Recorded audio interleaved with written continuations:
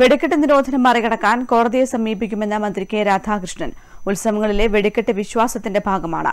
അസമയത്തെ വെടിക്കെട്ടാണ് നിരോധിച്ചത്. അസമയം ഏതെന്ന് വ്യക്തമായി കോടതി വിധിയിൽ കാണുന്നില്ല. വിധിക്കെതിരെ അപ്പീൽ നൽകുമെന്നും മന്ത്രി കണ്ണൂരിൽ പറഞ്ഞു.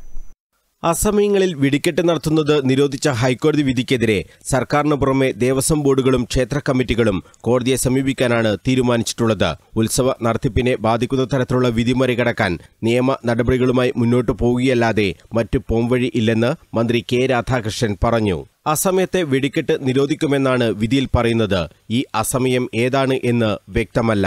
ബഹുമാനപ്പെട്ട ഹൈക്കോടതിയിൽ നിന്നാണ് ഇങ്ങനെ ഒരു വിധി വന്നിരിക്കുന്നത്. രാത്രികാലങ്ങളും നല്ല പറഞ്ഞിരിക്കുന്നത്. അസമയത്തുള്ള വെടിക്കെട്ട് നിർത്തണം എന്നാണ് പറഞ്ഞിരിക്കുന്നത്. ഈ അസമയം എന്നുള്ള സമയം നിശ്ചയിച്ചിട്ടില്ല.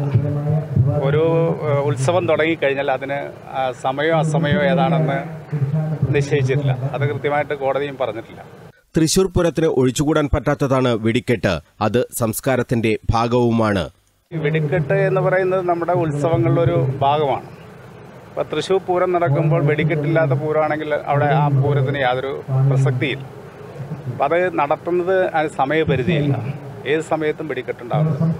മിക്കവാറും എല്ലാ നമ്മുടെ നമ്മുടെ ക്ഷേത്രങ്ങൾ ക്ഷേത്രങ്ങൾ മാത്രമല്ല ഇപ്പോൾ പള്ളികളിൽ പെരുന്നാളുണ്ട് അവിടെ വെടിക്കെട്ടുണ്ട്. അതുപോലെ തന്നെ പിന്നെ പെരുന്നാൾ നേർച്ചകൾ നേർച്ചകൾക്ക് വെടിക്കെട്ടുണ്ട്.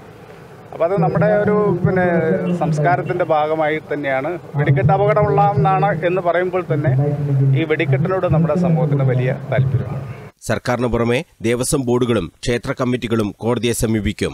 വീണ്ടും ഇല്ലാതാക്കുക എന്നുള്ള ഒരു നിലപാടിലേക്ക് പോവുകയാണെങ്കിൽ അതിന് നിയമപരമായിട്ട് തന്നെ നമുക്ക് അപ്പീൽ പോയി നേരിടാൻ വേണ്ടിയുള്ള ഒരു ശ്രമം നടത്തുന്നുണ്ട് തീർച്ചയായിട്ടും എല്ലാ സംഘടനകളും അതായത് അതായത് നമ്മുടെ ഓരോ ക്ഷേത്ര കമ്മിറ്റികളും പോകുന്നുണ്ട് ട്രസ്റ്റുകൾ പോകുന്നുണ്ട്. അതോടൊപ്പം തന്നെ ദേവസ്വം ബോർഡിന്റെ നാല് ദേവസ്വം ബോർഡ് ഒരു ഗുരുവായൂരിൽ വെടിക്കെട്ടില്ല.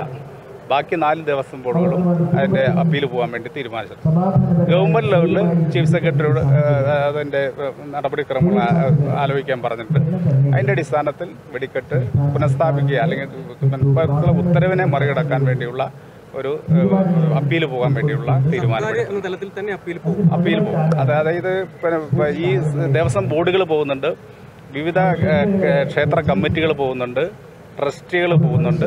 അതുകൂടാതെ തന്നെ ഗവൺമെന്റ് ഈ കാര്യത്തിൽ പോസിറ്റീവായിട്ടാണ് വിധിക്കെതിരെ നിയമ നടപടികളുമായി മുന്നോട്ടു പോകാൻ സർക്കാർ നേരത്തെ തീരുമാനിച്ചിരുന്നു. ക്ഷേത്ര ഉത്സവങ്ങളെ ആകെ ബാധിക്കുന്നതാണ് ഈ വിഷയം. അപകടരഹിതമായി വെടിക്കെട്ട് നടത്താനുള്ള ക്രമീകരണം ഉണ്ടാക്കുമെന്നും മന്ത്രി പറഞ്ഞു. News bureau Kannur.